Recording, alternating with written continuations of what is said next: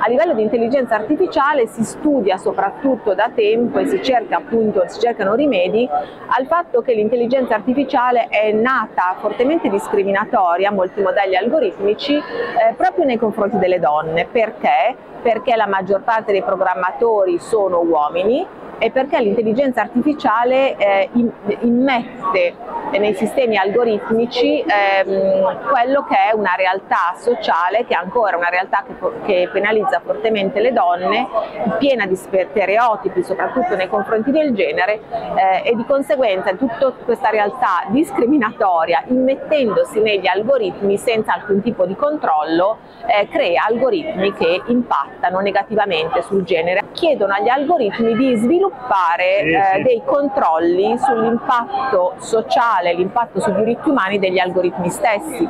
L'algoritmo non discrimini, per cui deve essere un algoritmo trasparente, eh, diciamo, fatto con, si, di cui si possano studiare i vari processi e, e che possa essere eventualmente corretto. Alle possibilità, alle potenzialità che ha la realtà virtuale di sviluppare degli atteggiamenti prosociali, inclusivi ed empatici nei confronti di situazioni di bias e di stereotipi o addirittura di violenze legate alla discriminazione di genere, alla discriminazione etnica, alla discriminazione nei confronti delle disabilità, alla discriminazione nei confronti di soggetti ristretti in situazioni carcerarie. Tutto questo perché? Perché è importante sviluppare una riflessione critica intorno a queste nuove tecnologie. La tecnologia non è di per sé neutra, non bisogna essere né tecnofobici né tecnoentusiasti, bisogna sviluppare una riflessione critica che riguardi cioè